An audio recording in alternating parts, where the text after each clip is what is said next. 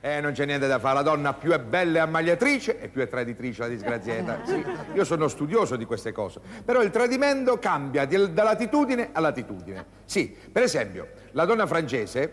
tra- eh? Sì. La donna francese tradisce il marito e non glielo dice. La donna inglese invece tradisce il marito e glielo dice. La donna svedese tradisce il marito insieme al marito perché stanno tutte e tre sul canapè. La donna italiana invece è la più furba, perché sapete che fa? Si mette d'accordo con l'amante, ammazza il marito, poi manda in galera l'amante perché dice che è stato lui, e poi se ne scappa con l'avvocato difensore che l'ha difesa tutti quanti. Come vedete, il numero che comanda il mondo è sempre lo stesso, signori miei, il numero 3.